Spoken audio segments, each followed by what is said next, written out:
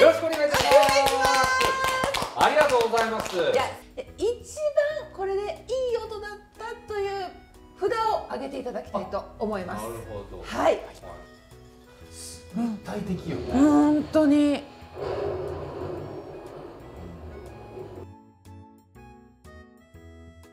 先ほどこちらのスピーカー覗いてもらった時に音が前向いてたと思うんですけど、実際ここから取り出すとこんな形になっておお音が20度あのスピーカーが20度前に傾いてますのでそうですね。はい、こうなってる。傾いてますね天井が高いおへ、えーリビングとかでもきっちりあの反射じゃなくて直接音が前に出るような仕組み。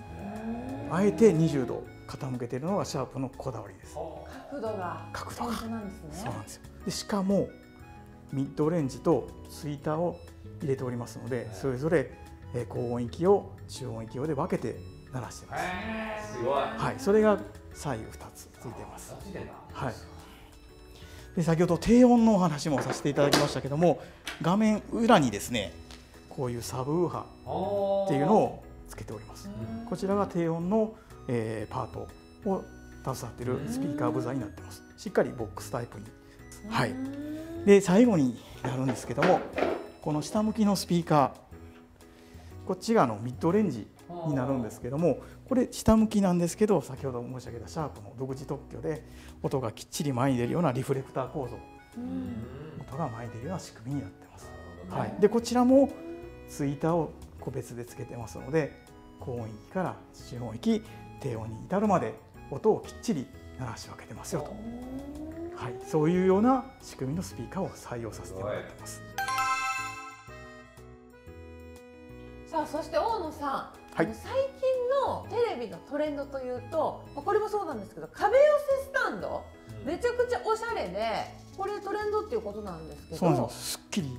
すっきりして。そうですね。ね。はい。でもこれ音になんか影響あったりしないんですか？鋭いとこついてきますね。ありがとうございます。先ほどもあの言われたと思うんですけども、はい。やっぱりお部屋って反射があるんですよね、うん。でこちらの FS1 とか先ほど見ていただきました FN1 はいこのテレビの背面にサブウーハーがあるんですよ。なので壁が近いとその重低音があのどういうんですかね前に出過ぎることがあって、はあ。音のバランスが悪くなることがあります。もったいないですよそれねもったい。ないということはじゃあ壁寄せスタンドは避けた方がいいってことですか？いえいえそんなことはございません、ありがとうございまはい。す。もうドヤ顔でいらっしゃいますけれども、そんなことない。そんなことはないですか？はいです。このように壁寄せだったりうん。壁掛けにした場合でもですねテレビの設定だけで音の調整ができるようになってます、へえ。こちらのテレビ音声調整メニューっていうのがあるんですね。その中に壁掛け視聴設定という項目がありますのでそちらを壁掛け視聴設定に入りにしていただけるとそれ専用の音質に自動的に切り替えてくれます。なるほどそうなんねです。ちょっとやってみますね。はい。はい。音声調整こちらに壁掛け設定。はい。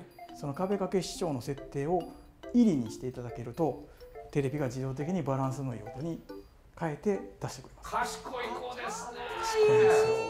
作ってる子も賢いんですけどね。そう。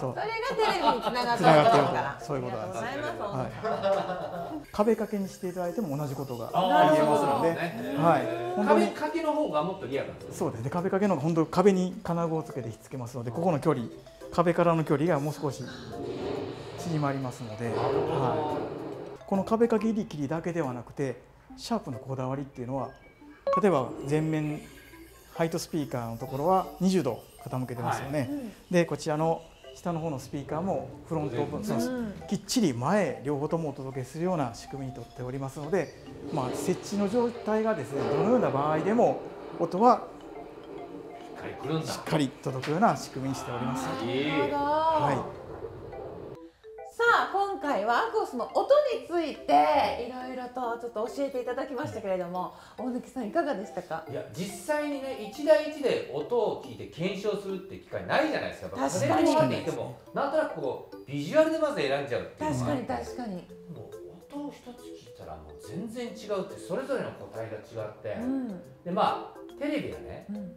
ずっとやっぱり長く見てまあいろんなシチュエーションで眠るじゃないですか。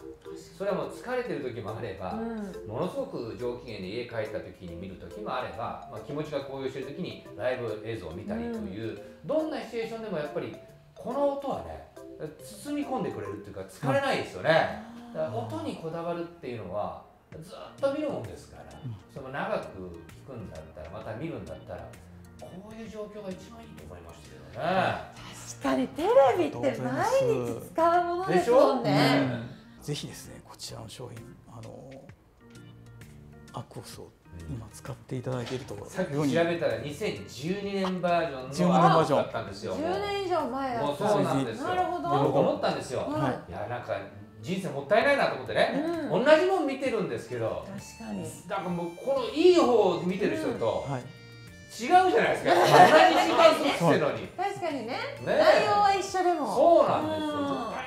なと思いました。テレビってなかなかね壊れないと買い替えていただけないんですけどもこういういい音とかいい映像をね体感いただけるとどうしても欲しくなりませんかめちゃくちゃなりました。ありがとうございますすごくねはいた。もうご説明いただいてよりね、本当にあそういうことなんだっていうね。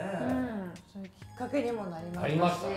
ただ今回ね今までずっとこのアクオスの音の良さっていうのは私一人でうん。いろいろとお伝えしてきて、本当かなって思ってる方がいるのかなっていうので今回は大貫さんをお招きしたんですけど 皆さんはい。大貫さんが言ってます。これはは間違いない。そうなんです。私が言いますんであ間違いないです。ありがとうございますぜひ気になった方ねね。店頭で聞いたりとかあと製品のサイトを行っていただいたりとか本当に皆さん一度お試しいただきたいと思います。さあ今後もねこの「まるごとシャープ」ではどんどんどんどん皆さんに役立つ情報など発信していきますのでご覧ください。ぜひシャープ公式 YouTube チャンネルの登録よろしくお願いします